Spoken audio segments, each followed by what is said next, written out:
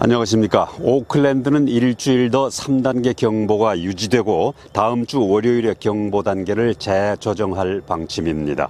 와이카토와 노슬랜드는 14일 목요일 밤 11시 59분까지 3단계 경보로 가고 13일 수요일에 경보 단계를 재조정합니다. 오클랜드 지역 학교는 18일에 개학을 하지 않고 교사와 보건 관계자는 의무적으로 백신 접종을 해야 합니다. 노스쇼어 병원 직원 2명과 오클랜드 병원 직원 2명이 양성 반응을 보였습니다.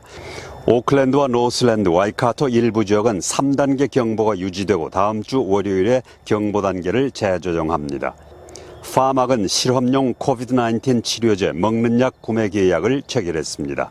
Medsafe의 승인을 받으면 파막에 몰누피라비르 6만 개 코스가 제공됩니다.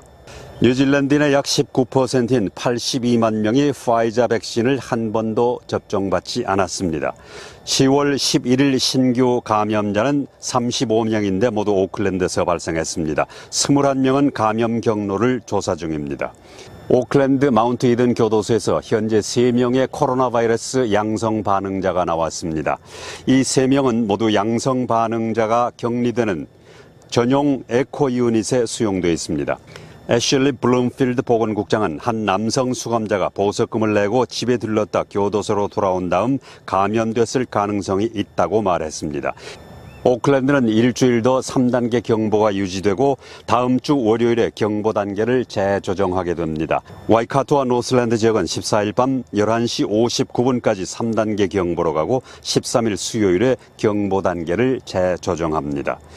오늘 신규 감염자는 35명인데 모두 오클랜드에서 나왔습니다. 뉴스 속보였습니다.